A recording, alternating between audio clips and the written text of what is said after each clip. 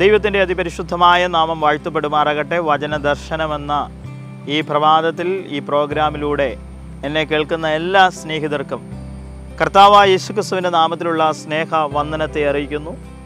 ഇന്ന് പകലിലും കർത്താവിന്റെ വചനവുമായി അടുത്തു വരുവാൻ ചില മിനിറ്റുകൾ നിങ്ങളുമായി ദൈവവചനം പങ്കുവെക്കുവാൻ ഇടയായി തീർന്നതിൽ ഓർത്ത് ദൈവത്തെ സ്തുതിക്കുന്നു. ഇന്നത്തെ പ്രഭാതത്തിൽ നമുക്കൊരു വാക്യം വായിക്കാം. യോഹന്നാന്റെ സുവിശേഷം പതിനൊന്നാം അധ്യായം അതിന്റെ നാൽപ്പത്തി നാലാം വാക്യം ഇങ്ങനെ വായിക്കുന്നു. അവന്റെ കാലും കൈയും ശീല കൊണ്ട് കെട്ടുകയും മുഖം റൂമാൽ കൊണ്ട് മൂടുകയും ഇരുന്നു. അവന്റെ കെട്ടഴുപ്പീൻ അവൻ പോകട്ടെ എന്ന് യേശു അവരോട് പറഞ്ഞു. നമുക്ക് ഈ വേദഭാഗം വായിച്ചപ്പോൾ തന്നെ നമ്മുടെ ഹൃദയത്തിൽ നമുക്ക് പ്രകാശിപ്പിച്ചത് നമുക്കറിയാം.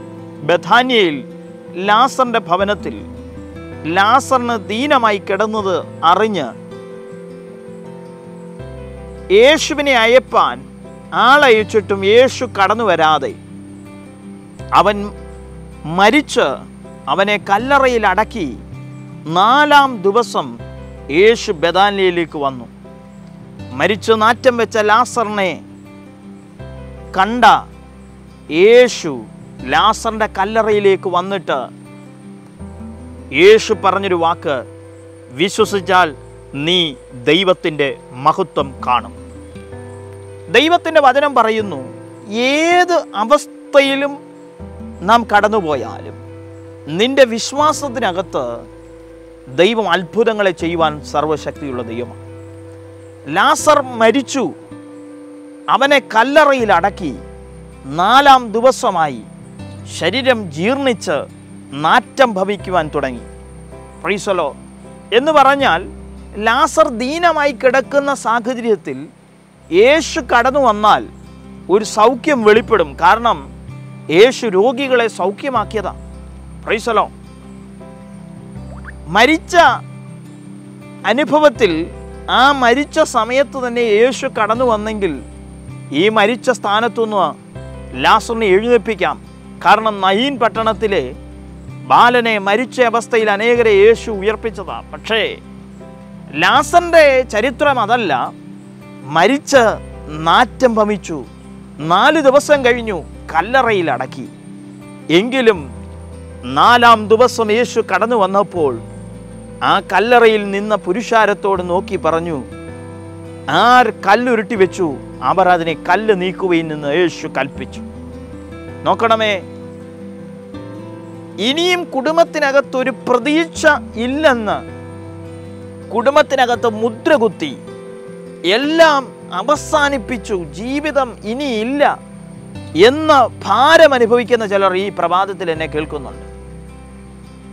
പക്ഷേ കർത്താവിന്റെ വചനം വിളിച്ചു പറയുന്നു സകല പ്രതീക്ഷയും നഷ്ടപ്പെട്ടിടത്ത് ജീവൻ പകർന്നു തരുന്ന ഒരേശുവിന്റെ കരം ഇന്ന് പകൽ നമുക്ക് വേണ്ടി വെളിപ്പെടുകയാണ് പ്രൈസലോ ദൈവത്തിന്റെ വചനം പറയുകയാ നിന്റെ വിശ്വാസത്തിനകത്ത് ജീർണിച്ച അനുഭവങ്ങളിൽ ജീവൻ പകർന്നു തരുവാൻ ഈ പ്രമാദത്തിൽ ഇടയായിത്തീരുന്നു. ലാസറിനെ പുറത്തു കൊണ്ടുവന്ന യേശു പറഞ്ഞ നോക്കിയുമ്പോൾ ലാസർ പുറത്തു വന്നു ജീവനോടെ പുറത്തു വന്നു.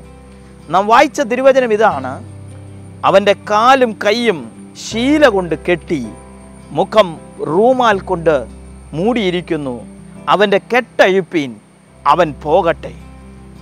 നോക്കണമേ ഒരു മരിച്ച ശരീരത്തിനകത്ത് കാലുകൾ തമ്മിലും കൈകൾ തമ്മിലും എല്ലാം കൂട്ടിക്കെട്ടി മുഖം റൂമാൽ കൊണ്ട് മൂടിയിരിക്കുന്ന ലാസറിനെ നോക്കി യേശുവിനറിയാം ഇനിയും ലാസറിന് മുന്നോട്ട് പോകേണ്ടതുണ്ട്.